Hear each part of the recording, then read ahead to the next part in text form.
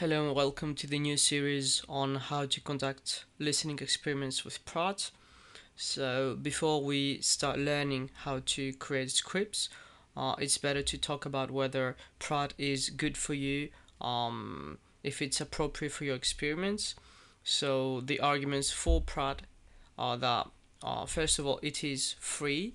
And normally, uh, if you work in acoustics, you already know how to download and um, you know the basics. Uh, and plus if you want to do simple experiments um, identification or discrimination uh, the scripts are very easy. You don't even have to uh, know how to program um, C Python or whatever. You don't even have to program within Praat the the scripts are very easy.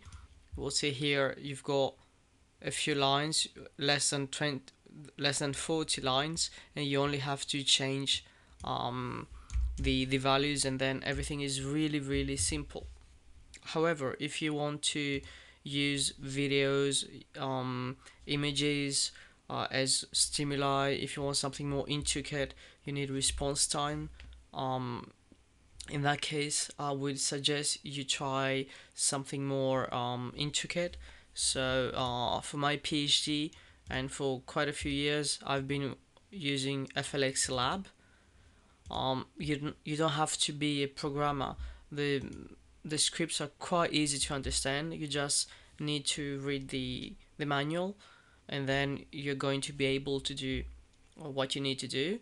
And then you've got uh, PyEPL, which is uh, quite known in the um, in the field and of course you've got the PsychoPy which is a very promising uh, piece of software. Um, I haven't tried it yet um, but I am going to and then uh, I'm probably going to um, create a series of tutorials on that. So um, if you want to do something simple clean identification discrimination Praat is the right software for you